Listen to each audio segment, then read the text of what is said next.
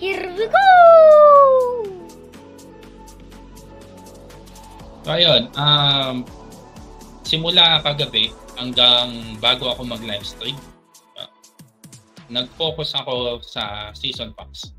So, i-share ko sa inyo kung ano yung mga uh, kung ano yung mga natutunan ko or na-discover natin sa season pass para sa next season mas alam na natin kung paano siya gamitin. So, kagabi, ang season pass ko ay level 39 pa lang. So, 39 to 60, isang araw ko lang siya ginawa.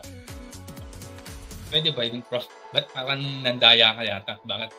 Sobrang ano, sobrang bilis mo namang mag-quest. No? Uh, pwedeng pwede. Kailangan lang may ALS ka. At saka, kailangan may gems ka. Kasi pagka wala kang alts hindi mo yun ano, hindi mo yun na magagawa. So, una, explain lang natin na yung season pass ay may dalawang uri. Meron tayong uh, free pass, ito yon yung nasa taas. Libre lang yan. Kahit hindi kayo gumastos, makukuha nyo yan. Ayan. Marami, di ba? Per level, ay makukuha ka namang mga ano, Teka. At yung ah, kamay ko eh, nawalan na yata ako ng fingerprint. Oh, ayun. So marami yan hanggang level 60. Level 60. Uh, ito yung mga, kapag free, Chaos 15 lang yung mga nakukuha natin. Ayan. Oh. Pero yung ring sulit kasi 12. Tapos, uh, may ALS dito. ALS yan. ALS ang laman niya. Mga Reaper Kit. Ito naman yung pampataas ng merit points. And sa dulo, sa level 60, meron siyang kasamang head gear or head costume na libre. Permanent yan. Account. So, yun yung kagandahan sa season pass. Meron siyang libre at meron siyang premium. So, dito naman sa premium, ganun din from level 1 to 60. So, kada level, meron tayong makukuha ng reward. Para lang siyang ano, mas mataas na mas mataas na uri kaysa dun sa free pass. Mas maganda yung laman niya. Kasi nga, nagbayad ka. For example, meron siyang season blessing. Ano yung laman ng season blessing niya? HP 200, uh, defense plus 30, attack rate plus 100. Uh, ayan yung mga bigay, may mga yan, 30 days na costume, diba? Parang Tagalog, wala pang ganyan dun sa mga previous nating ano, mga previous uh, items natin, wala pang ganyan. So, parang pinay-experience natin yung mga pakaibang ba. And then, for example, dito ay uh, level 3 HP na nauubos yung sa premium naman, inexhaustible, 15 days. So, mas lamang yung may bayad.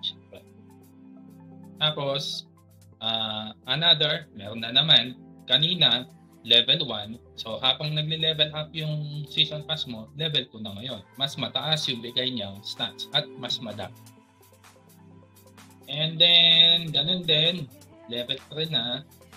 Tapos, yung i-compare lang natin, ito, um, yung free mirror of observation is bronze lang. Yun namang sa season pass, gold.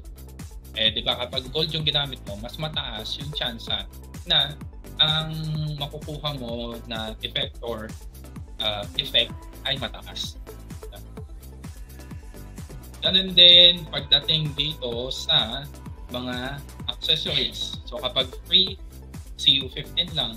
Pero kapag yung premium pass, 7 days na CU20. Diba? Dito, 3 days na CU50. Pero at least parang meron, libre at may bayad, parang meron. And sa bandang dulo, at uh, ayan, level 6 dito, level 12. Level 6, level 12. Level 6, level 12. Diba?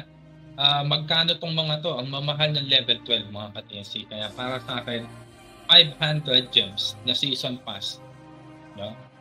Eh, sulit na sulit siya. Ayan. Reaper Kit, gold. Doon sa taas, bronze lang. Tapos dito, plus 50 doon sa taas, plus 25. At ito yung pinakamaganda. Kung wala ka bang costume or nagko-collect ka ng mga costume, ayan, Pabal Cups, wala pang Pabal Cups na maraming players ang meron. So, season pass mo na siya makukuha as of now. Unique pa rin siya. Permanent. And uh, account nga. So, yun yung kagandahan sa season pass. So, ano pa ba? May mga players na hindi nila alam kung ano yung gagawin nila everyday. Kapag meron kang season pass, meron ka ng guide kung ano gagawin mo everyday. For example natin, uh, kapag ikaw ay hindi premium user, tatlo lang yung quest na naka-open. Pagka premium ka, lima. Tapos mga ka-TSC, uh, may makikita ka kasi na nakalagay, regenerate, tapos may makikita ka na change. Kapag pinindot mo yung change mga ka-TSC, for example sabi dito, attempted chaos upgrade 10 times sabihin natin na ayaw mo to, itiklik mo yung change. No? 5 gems yan. May bayad nga lang. Itiklik mo yung change. Mapapalitan yan ng panibagong quest. Kasi may mga quest na hindi mo kayang gawin. So, kailangan mo siyang palitan. Ngayon naman, sa isang araw, may limit yung quest. Kapag premium 10, kapag ka hindi premium, lima lang yata. Uh, makikita mo dito, ayan, complete daily mission 10 out of 10 dito sa taas. Diba? So, pwede mo yung i-reset, unlimited, kahit ilan. Ganun ko siya natapos yung from level 39 na pa level 60 ko siya. Gumagamit ako ng uh, reset. So, kunwari, nakasampu ka na, gusto mo pang mag-quest, pindutin mo lang to, kailangan mo ng 10 gems. Pag naka 10 gems ka dyan, sampu na naman yung pwede mong gawin na uh, quest. So, unlimited yon Kaya sabi ko, pwede mo actually tapusin yung season pass from level 0 to level uh, ah, 60 sa isang araw. Basta may ads at may gems ka. Hindi so, naman siya ganun kahirap. Ngayon, kapag uh, natatapos mo yung mga quest, nagiging kulay gray siya. Tapos may check, parang ganito. Uh, ito yung pinakataas. Yan. Tapos may makikita ka doon para makapaglabas ka ng panibagong quest. Click mo lang yung regenerate. Yung regenerate na yan, eh, 5 gems. Kaya yun, sabi ko sa inyo, kailangan dyan, uh, may ads, may gems din. Kung gusto mong mabilis na matapos.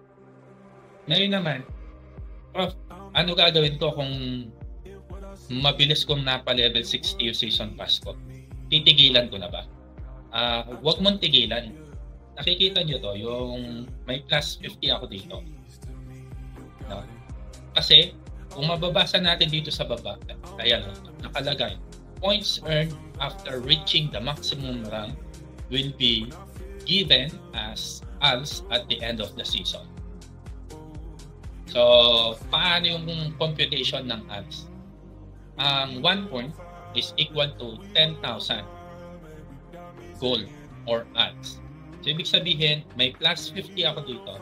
50 times 10,000. Right? So, ilan na yon 500k.